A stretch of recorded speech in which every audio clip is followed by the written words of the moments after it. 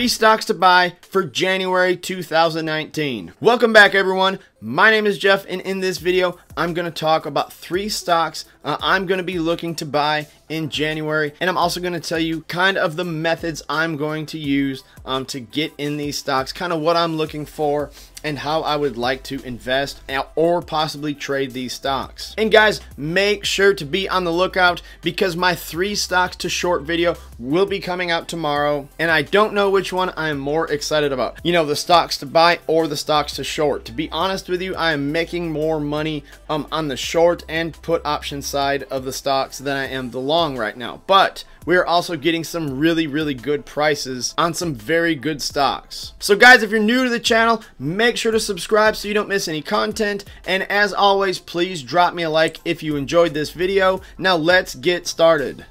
So the first stock for 2019, guys, this is going to be an investment. This is a great investment, and it is Alibaba, ticker symbol BABA. Now, I have done a lot of coverage on Alibaba on this channel here, guys. Um, it has actually been a while um, since I've made an Alibaba video. They have not had a lot of breaking news lately. And as most of you know, 2018 has been brutal to Alibaba, but uh, let's just say it like it is, 2018 has been brutal to nearly every big company. And guys, this one is really kind of flying under the radar right now. I think everybody is so focused on Apple and Facebook and uh, Google, Amazon, you know, the big, huge American tech companies. You know, the United States and China is uh, nearing a trade agreement, and Alibaba is not just due a technical breakout, it is also due a fundamental breakout. You know, their earnings reports have been great um, despite all the problems that China has faced recently. And like I said, right now it is trading at $139 a share. I think that is a steal. This is easily $160 to $170 stock in a healthy market. And really, guys, I have no problem maintaining my five-year price target that I made last year. I see Alibaba, you know, trading up to $500 in a few short years. And as the details of this trade agreement start to unfold and a lot of the pressure kind of unwinds off the Chinese Chinese market. Um, I see Alibaba easily getting into the 200s pretty quickly. So don't be asleep at the wheel. Don't be so focused, you know, on American tech companies that you're going to let Alibaba slide right past you.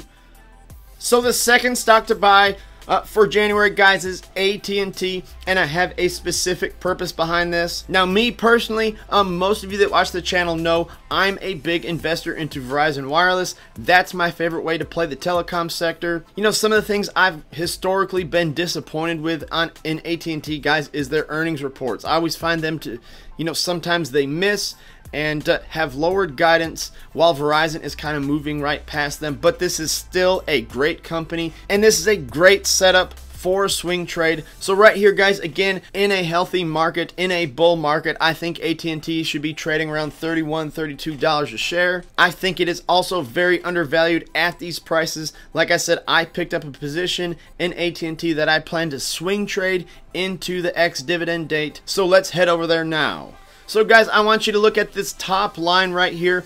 This is the dividend history for AT&T. So you can see that the dividend uh, the ex-dividend date for AT&T is on the 9th of January. I've actually uh, mentioned this in a couple of my Facebook chat groups today. And so the dividend actually got raised. It's not paying 50 cents a share. It is now paying 51 cents a share on the quarterly basis or $2.04 yearly. It is around a 7% yield. That is really, really good uh, for a very, very historically great company. So that pretty much explains it, guys. I want to, you know, buy and hold AT&T through the ex-dividend date, probably sell on the ex-dividend or somewhere around that time, uh, depending on what kind of gain I have made.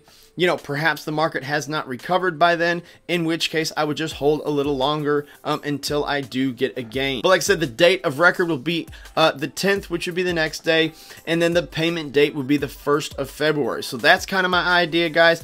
I just want to do a little swing trade um, into the ex-dividend date, you know, capture some of that dividend action, and also I think we will get a decent return uh, in the meantime.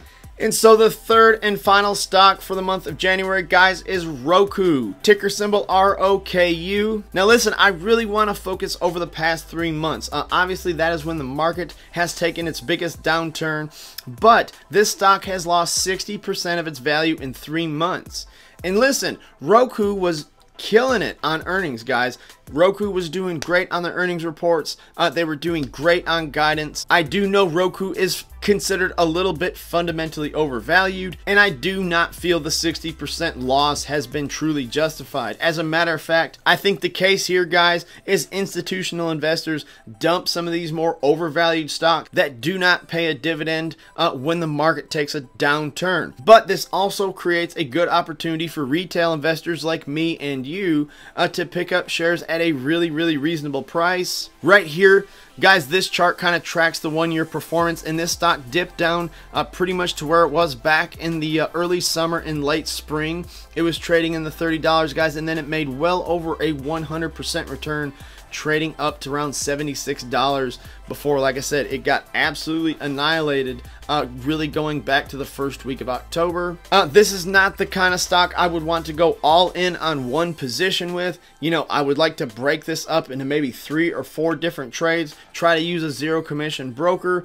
uh, so you're not getting beat up with fees. But I think Roku at $30, guys, is a great buy with a ton of upside. And like I said, uh, just keep in mind, Roku knocks it out of the park on earnings and they have great guidance. If you guys would like to see a stock analysis video on Roku, go down to the comments section and mention that and I will add it to my list. So those are the three stocks guys I plan to buy and trade over the next month. Like I said, Alibaba, AT&T, and Roku. Drop me a comment. Tell me what you think about these stocks. Please hit the like button. That really helps my channel and it helps me grow. And as always, guys, have a great day and thanks for watching the video.